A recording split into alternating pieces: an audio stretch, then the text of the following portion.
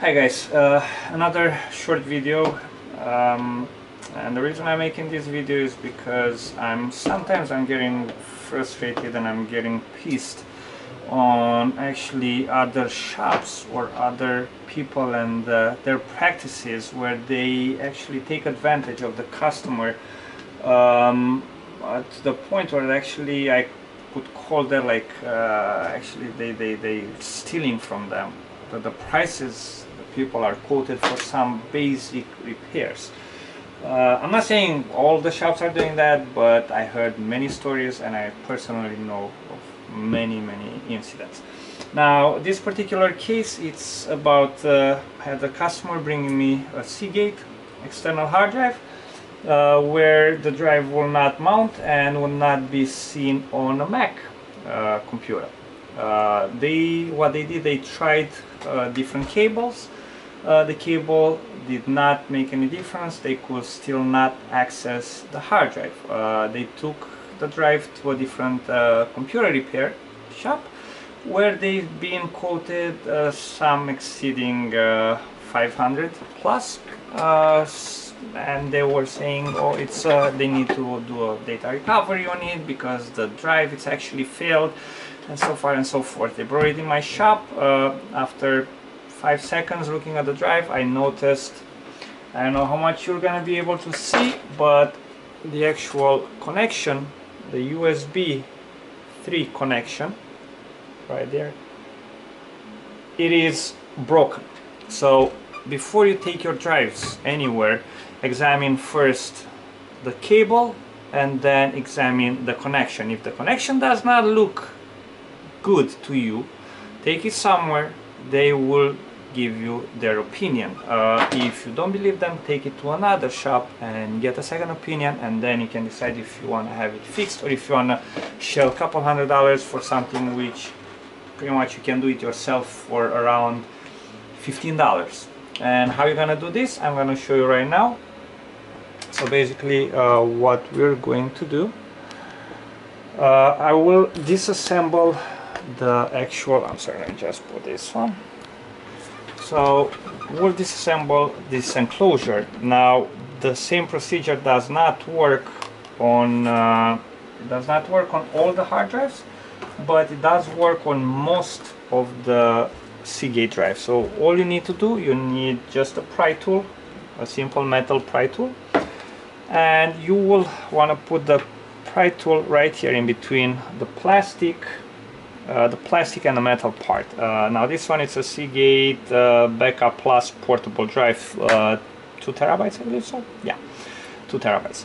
Uh, so you'll put this one in and what you do, you just lift it up. It is glued. I don't know if you can hear the actual glue moving, actually breaking up.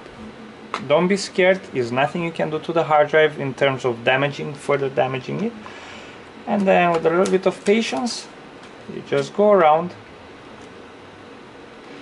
Don't worry if you bend the metal part as you're not going to be using this drive anymore anyways. I mean uh, you might be using the drive but you're not going to use the same enclosure anymore. And here we go. That's popped up. And now we get to the inside of the drive. This is your drive. We're gonna pull this one in. Uh, we're gonna pull it out actually. I'm sorry careful and uh, work as close to the table as possible. Have a little bit of padding underneath just in case the drive you'll drop the drive is not going to get damaged because dropping the the actual drive can damage the drive. Now once I have the drive you see you notice there is a little bit of a tape here. Now this tape the purpose of it it's actually to hold a small board to the actual disk. So this is your hard drive. It's a standard 2.5 inch SATA drive and it has a board on top which uh, uh, which actually uh, the purpose of it is to uh, convert the SATA connector which is something like this into this. So once we remove the tape we're going to take the small board out you just pull on it and now the board is out. We can trash it. We throw it in the garbage as we don't need it and now we have the drive. Okay?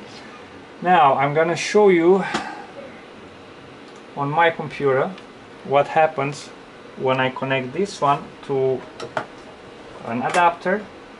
You can uh, you can buy yourself on Amazon or uh, any other website uh, you can try a brick and mortar store. All you need is a 2.5 inch external hard drive enclosure where you will be popping this guy in and you can access your data. Now I'm just gonna put it in right here.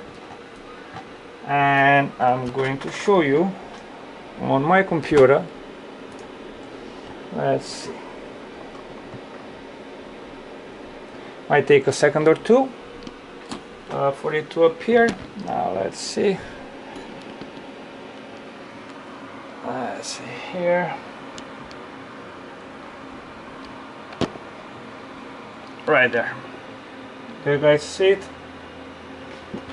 It's right here.